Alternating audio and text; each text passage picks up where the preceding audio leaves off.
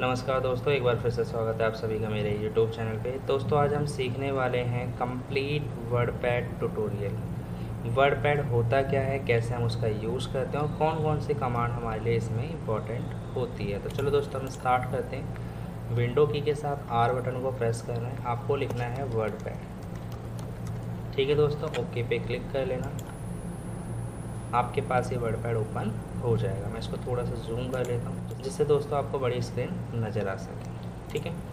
हमें यहाँ पे कोई भी एक पैराग्राफ लिखना पड़ेगा। इसके लिए दोस्तों मैं एम एस वर्ड का यूज़ करता हूँ। मैं यहाँ पे रेंडमली एक पैराग्राफ ओपन कर लेता हूँ।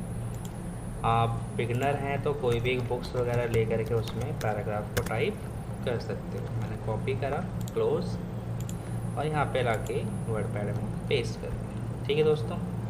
स्क्रीन को थोड़ा सा छोटा कर लेता हूँ, इस तरीके से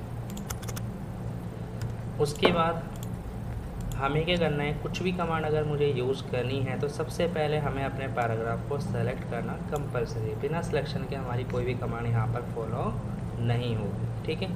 तो सबसे पहली जो कमांड आती है हमारे पास कट कट देखो, अभी हाइड हो रखा है हमारा। जैसे ही मैं यहाँ पे वर्ड को सेलेक्ट करूँगा, मेरा कट और कॉपी दोनों यहाँ पे शो करेगा। कट का काम होता है कि जो मैंने ऑब्जेक्ट सेलेक्ट करा है, वो चीज़ हमारा वहाँ से कट हो जाए। ये देखो, यहाँ से कट गया। मैं चाहता हूँ इसको साइन के नीचे एंटर करा, यहाँ पे पेस्ट करना। तो मैं पेस्ट पे क्लिक करता हूँ।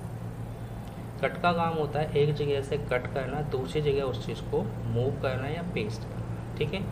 कॉपी का काम होता है डुप्लीकेट बनाना। मान लो मैंने ये पैराग्राफ लिया स्टार्टिंग के दो मैंने कॉपी पे क्लिक करा। जब आप कॉपी करोगे तो ये आपको दिखेगा नहीं, इस चीज़ का ध्यान देना, बस आपको कॉपी पे क्लिक करना है। जैसे कॉपी पे क्लिक करोगे, नीचे क्लिक करना है एंटर प्रेस किया देन मैंने पेस्ट पे क्लिक कर दिया। देखो, ऊपर ही मेरे पास टू मेक योर डॉक्यूमेंट वाला पैराग्राफ और थीम्स एंड स्टाइल वाला, नीचे भी देखूँ टू मेक योर डॉक्यूमेंट और थीम्स वाला, ठीक है?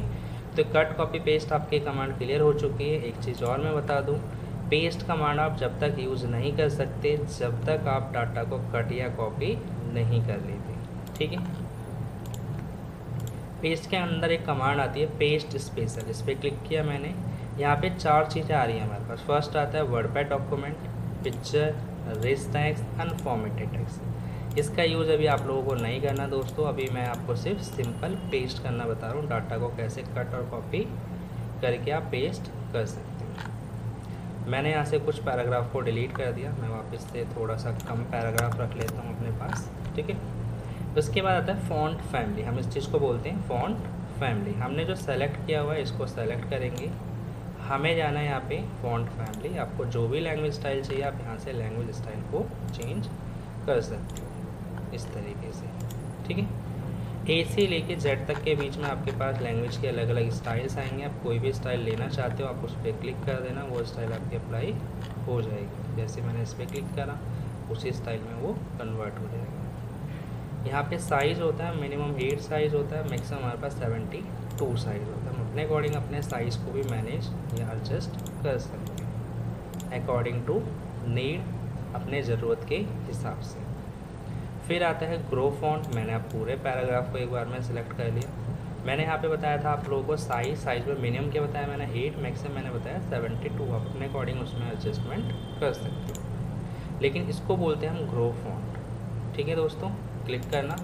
इससे भी आपके टेक्स्ट की जो साइज़ होगी वो बड़ी होगी। लेकिन ये सेवेंटी टू को क्रॉस कर जाएगा। ये देखो मैक्सिमम जो आप इसमें साइज़ कर सकते हो सिक्सटीन थर्टी एट मतलब सोलह सौ अड़तीस। इससे ज़्यादा बड़ा आप साइज़ यहाँ पे एडजस्ट नहीं कर सकते। ये आपकी लास्ट साइज़ यहाँ पर शो करता है। ये देखो इसको बोलते हैं स्रिंक साइज़ को छोटा करना। मिनिमम साइज़ वन कर सकते हो। वन से ज़्यादा छोटा नहीं कर सकते। ठीक है? तो ये आपका ग्रो फॉन्ट और ये आपका स्रिंग फॉन्ट अपने अकॉर्डिंग साइज़ को आप एडजस्ट कर सकते हो। अब आ जाते हैं दोस्तों बी वर्ड्स को बोल्ड करना डार्क करना। मेरे कुछ इंपॉर्टेंट वर्ड्स होते हैं बुक्स वगैरह मैगजीन्स वगैरह न्यूज़ पेपर वगैरह में देखा होगा आप लोगों ने। पी पे क्लिक करते वर्ड हमारा डार्क में शो करता है। ये हाइलाइटर होते हैं एक तरीके से, उन वर्ड्स के ऊपर फोकस करने के लिए हम इसका यूज़ करते हैं। ठीक है? इटैलिक होता है कर्सिव में लिखना, मैंने इस पूरे पैराग्राफ को ले लिया। आई पे क्लिक वर्ड हमारा कर्सिव राइटिंग में तिरछा लिखा जाएगा इससे। ठीक है?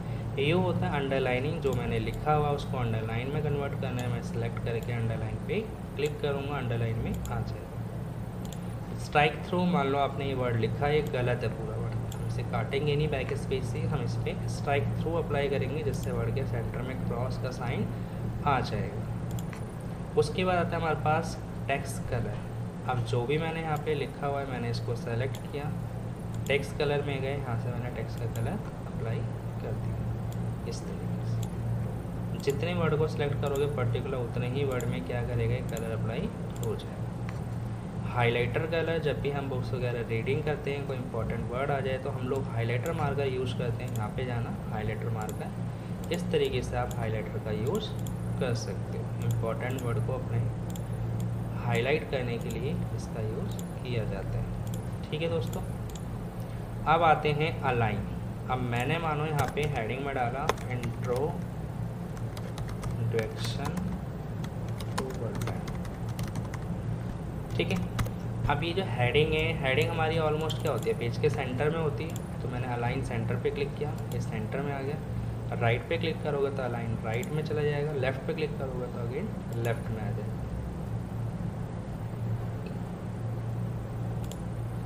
लेकिन यहाँ पे हमारे पास जस्टिफाई की कमांड होती है, इसका यूज़ हम मैक्सिमम करते हैं पैराग्राफ जैसे मेरे पास दो पैराग्राफ मैंने सेलेक्ट कर लिए, आप जहाँ तक देख पा रहे होगे लेफ़्ट साइड बिल्कुल इक्वल है, लेकिन राइट साइड वाला हमारे पास बिल्कुल इक्वल नहीं है। जस्टिफाई पे क्लिक करो, ये साइड भी आपकी बिल्कुल इक्वल हो जाए जब भी आप कोई प्रोजेक्ट असाइनमेंट वगैरह बनाते हो एज ए प्रिंट आउट आपको देना हो डॉक्यूमेंट तो हमेशा जस्टिफाई करके हम अपने डॉक्यूमेंट को सबमिट करवाते हैं। मैंने लेफ़्ट पे क्लिक कर दिया। ये होता है आपके पास डिक्रीज इंडेंट और इंक्रीज इंडेंट ये दोस्तों आपके इस रूलर पे काम करते हैं, ठीक है? जैसे मैंने यहाँ पे इंट्रोडक्शन को सेलेक्ट कर लिया। डिक्रीज होता है राइट की तरफ़ मूव सॉरी इंक्रीज होता है राइट की तरफ़ मूव करना। जितनी बार मैं क्लिक करूँगा ज़ीरो पॉइंट फाइव के ही डिस्टेंस पे मूव होगा। ये देखो three point five again click four पे again click four point five और डिक्रीज होता है लेफ़्ट जैसे जैसे वो आगे जाता है साइज़ के हिसाब से, जिस फॉर्मेट से वो आगे जाता है, उसी फॉर्मेट से वो पीछे भी आता है। ठीक है दोस्तों? उसके बाद आ जाते हैं लिस्ट जिसको हम बोलते हैं बुलेट लिस्ट जैसे मैंने यहाँ पे कुछ पॉइंट लिखे हॉबीज़ मैंने हॉबीज़ के नाम लिख दिए यहाँ पर। क्रिकेट फुटबॉल रीडिंग बुक ठीक है? अब हॉबीज़ में और जो पॉइंट लिखे इन सब में कोई डिफरेंस तो है ही नहीं हमारे पास। तो मैंने हॉबीज़ को थोड़ा सा अलग हाईलाइट कर दिया, जिससे मुझे वो हेडिंग की तरह प्रेजेंट हो।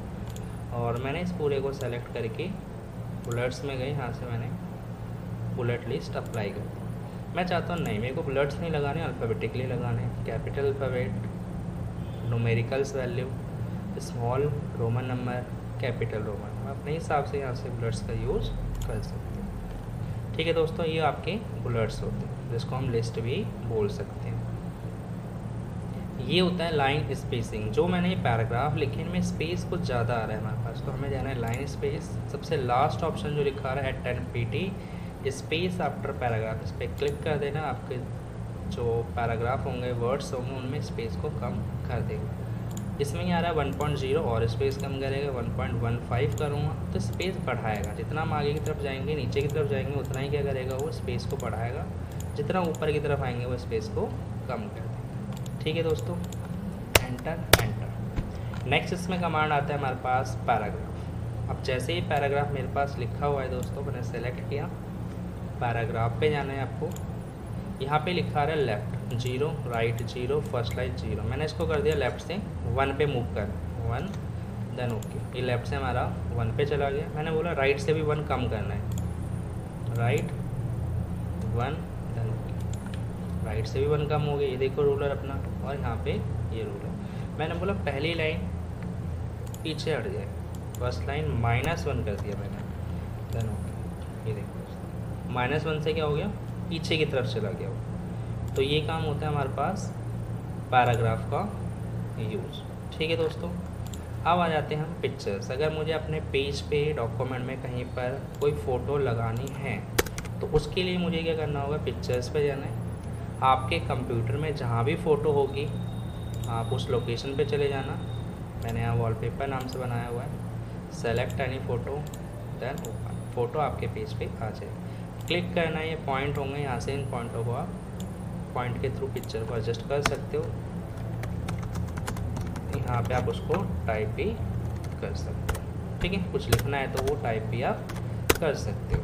कोई दूसरी फ़ोटो चाहिए पिक्चर पे जाना, कोई दूसरी फ़ोटो ले लेना। दैन ओपन फ़ोटो ज़्यादा बड़ी होगी एच डी में होगी, थोड़ा सा टाइम लेता है, उसको आप एडजस्ट कर सकते हैं। ठीक है दोस्तों?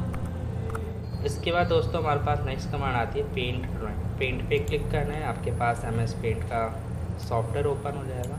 आप यहाँ से जो भी ड्राइंग बनाते हो, वो सारी ड्राइंग आपके पेज के ऊपर इंसर्ट होनी शुरू हो जाएगी। जो भी आप यहाँ से ड्रॉ करना चाहते हो, वो सारी ड्राइंग आपके पेज पे इंसर्ट होना शुरू हो जाएगा। इरेजर लिया मैंने यहाँ से सिंपली एक ड्राइंग बना लिया, जिसमें मैंने ट्री प्रोजेक्ट किया है दोस्तों।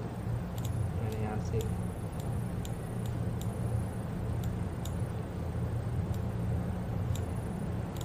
फिल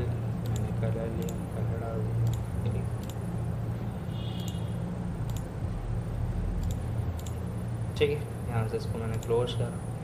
फ़ोटो पे क्लिक करना है, यहाँ से इसको हम छोटा कर सकते ठीक है दोस्तों, अब आते हैं हमारे पास डेट एंड टाइम क्लिक करना है। आपके सिस्टम में करंटली जो भी डेट और टाइम होगा, वही डेट और टाइम के अलग अलग फॉर्मेट ओपन हो जाएँगे। मैंने यहाँ से ये वाला फॉर्मेट लिया then okay enter time currently जो हमारे सिस्टम में टाइम हो रहा है, उस टाइम को भी हम ले सकते हैं। फिर आता है इंसर्ट ऑब्जेक्ट इंसर्ट ऑब्जेक्ट का काम होता है किसी अदर सॉफ्टवेयर के थ्रू अपने फ़ाइल को इंसर्ट कराना अपने वर्ड पैड डॉक्यूमेंट पे। तो आपको जाना है इंसर्ट ऑब्जेक्ट यहाँ पे काफ़ी सारे अलग अलग सॉफ्टवेयर खुलेंगे जो आपके सिस्टम में इंस्टॉल्ड होंगे। लेकिन फ़िलहाल जो हम यूज़ करेंगे एक्सेल बाइनरी वर्कशीट अगर आपके सिस्टम में एम एस ऑफ़िस होगा तो एक्सेल बाइनरी वर्कशीट खोलना है यहाँ पे। ओके पे क्लिक करना। आपके पास अलग से एक एक्सेल का सॉफ्टवेयर ओपन हो जाएगा। कभी भी कोई वर्ड से टेबल बनानी हो तो आप एक्सेल की हेल्प से वर्ड में इंसर्ट ऑब्जेक्ट से टेबल क्रिएट कर सकते हो। ठीक है दोस्तों? जैसे मैंने यहाँ पर टेबल क्रिएट की, मैंने यहाँ पर एंट्रीज किए, मैंने यहाँ पे डेटा फिलअप कर दिया। राहुल रमन